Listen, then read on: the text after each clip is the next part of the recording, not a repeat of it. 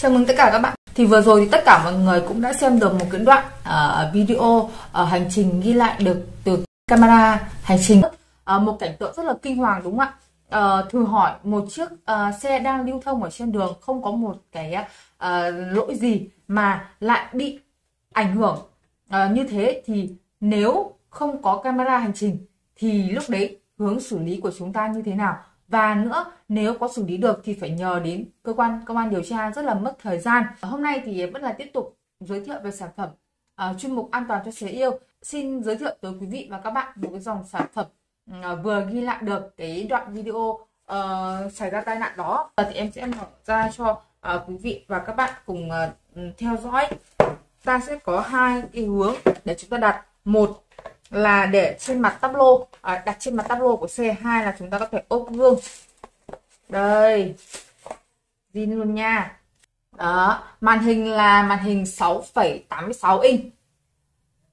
Kính là kính cường lực IPS chống chói lóa chống va đập. Tiếp theo nữa là hỗ trợ ghi hình cả trước và sau cho chúng ta.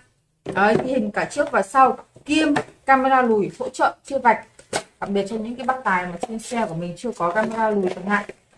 Đây, em sẽ cho các bạn xem bắt cam sau này. Đấy.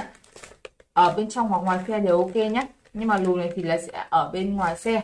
Về tính năng đầu tiên của nó là cảnh báo dạng tốc độ bằng giọng nói này. Điều khiển bằng giọng nói, bằng cái phần mềm Web Vision Voice. Thông thường thì các cái cam khác thì chúng ta phải sử dụng bằng tay. Nhưng đối với M39X thì chúng ta chỉ cần ra lệnh bằng giọng nói, nó sẽ ra tất cả các cái ứng dụng mà chúng ta cần.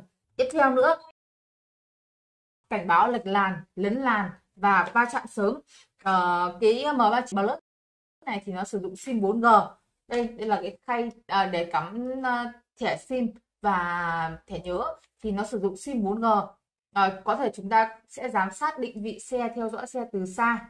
Đấy, nghe gọi trực tiếp ở trên màn bắt bluetooth. Nó không khác gì sử dụng giống như chiếc điện thoại của mình cả. Rất là tiện luôn.